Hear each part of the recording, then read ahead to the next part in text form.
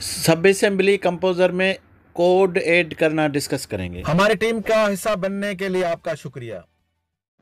बिस्मिल्लाह ऑटोकेट civil three और इससे सब असेंबली कंपोज़र पे हम डिस्कस कर रहे हैं तो सब असेंबली कंपोज़र में हम लास्ट टाइम जो जहाँ पे हमने एंड किया है उसको कंटिन्यू करेंगे तो यहाँ पे देखें कि जब कॉरिडोर बनाते हैं असेंबली से सब असेंबली असेंबली से तो फिर उसमें कुछ कोड हमें यूज़ होते हैं। वो कोड क्या करते हैं कि फीचर लाइन के, जैसे पॉइंट के कोड होते हैं, वो पॉइंट जो हम सर्वे पॉइंट करके आते हैं तो उस सर्वे में कुछ कोड देते हैं।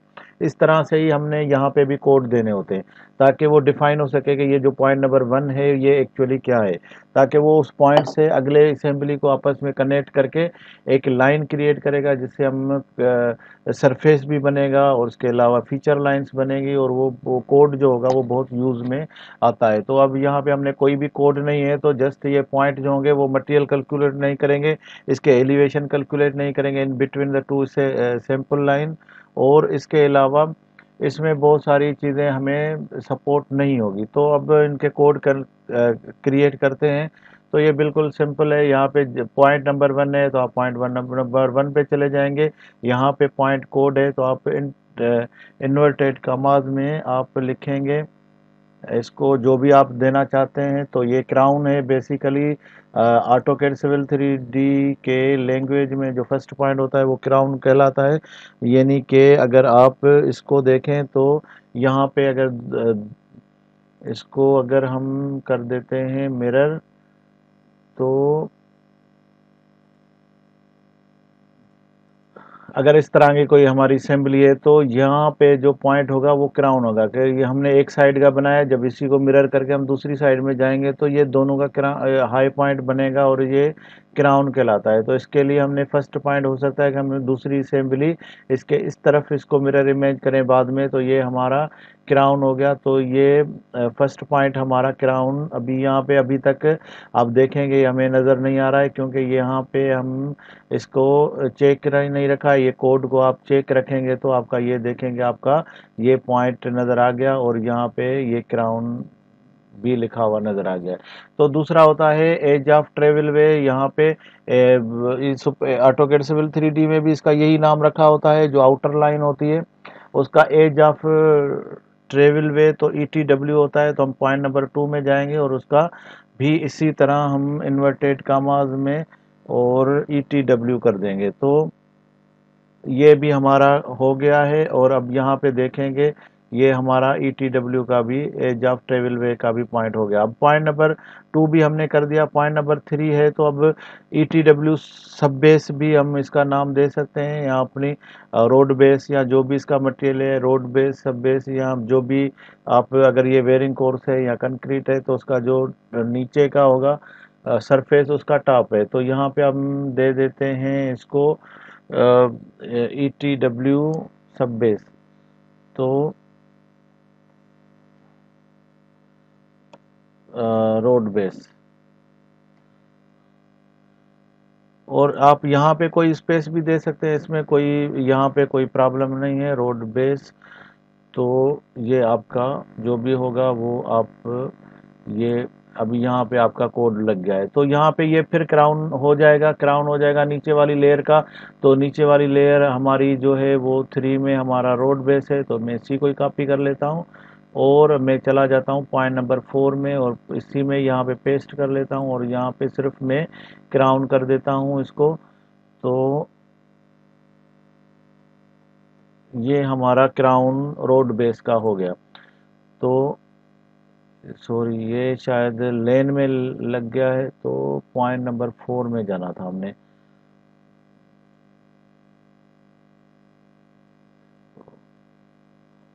पॉइंट नंबर फोर में जाएँगे और यहाँ पे पॉइंट फोर, यहाँ पे देखें, पॉइंट फोर है तो मैं ये अब अब ये जो है वो मेरे पास क्राउन रोड बेस का भी लग गया है।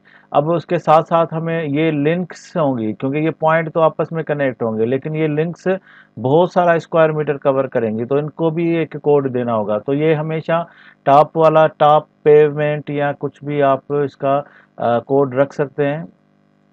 तो यहाँ पे अब मेरे लिंक के लिए, मुझे जाने के लिए क्या करना पड़ेगा कि यहाँ तो मैं टू पॉइंट में जाऊँ, क्योंकि पॉइंट नंबर टू के साथ लिंक है तो यहाँ पे मेरे पास लिंक यहाँ पे पड़ी हुई है।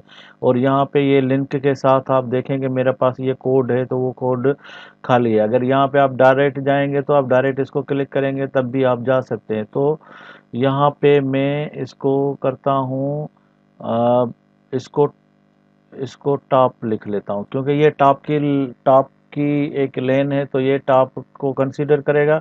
इसके अलावा अगर इसमें एक, मैं और भी कोड दे सकता हूँ तो ये और भी मैं दे सकता हूँ, दो तीन कोड कामा दे के, ये पे वन भी हो सकता है हमारा। तो इस तरह से हमारा ये पे वन भी मैंने इसमें डाल दिया है तो अब ये हमारे पास दो कोड हैं इसके। इसी तरह ये जो साइड वाला है, ये बेसिकली डाटम क्योंकि ये जो आखिरी हमारे असेंबली के ऑल अराउंड जो बाहर, इसके जो जिसके साथ में दूसरा अर्थवर्क टच हो तो उसको एक डाटम लाइन दिया जाता है ताकि अर्थवर्क को अलग करे। तो ये मैं इसको मैं रखता हूँ, अर्थवर्क तो अभी यहाँ ये जो लाइन है वो है एल टू मैं डायरेक्ट इसी को ही क्लिक कर देता हूँ ताकि ये हमारा पॉइंट थ्री में तो पॉइंट थ्री को और यहाँ पे लिंक है, लिंक में कोड है और कोड को मैं इसको मैं डाटम लिख लेता हूँ।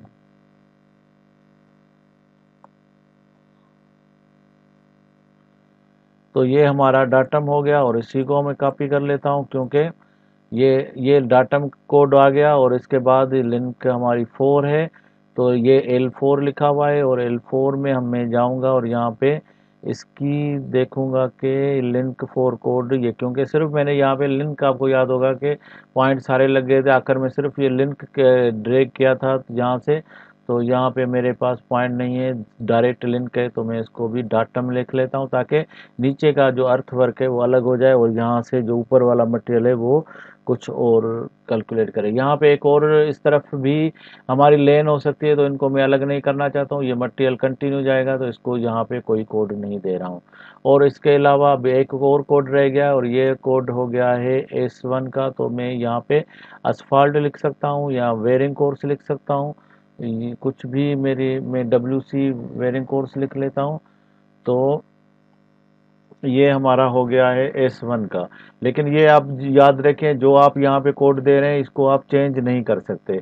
वहाँ पे भी अगर आप मटेरियल वेयरिंग कोर्स नहीं है, अगर कंक्रीट है या कुछ और है तो आप इसको आप नहीं चेंज कर सकते। तो उससे बेहतर है कि जो आप शेप कोड का कोड शेप का जो इसका मट, अंदर हेच जो कर रहे हैं, उसका जो शेप है, उसका अगर कोड देना है तो आप यहाँ पे प्रॉपर्टी में दें। यहाँ पे मैं इसको लिख ले, अभी यहाँ पे देखेंगे मुझे स्ट्रिंग में ये मैं कोई भी टेक्स्ट डाल सकता हूँ। तो मैं यहाँ पे स्ट्रिंग सिलेक्ट कर दिया है। यहाँ पे मैं इसका नाम दे देता हूँ मटेरियल वन तो मटेरियल वन तो यहाँ पे मेरा इनपुट और आउटपुट में ये इनपुट होगा मेरा यहाँ पे। और यहाँ पे मैं अभी इसको सिलेक्ट करता हूँ। और यहाँ पे जो भी मैं लिखूँगा डब्ल्यू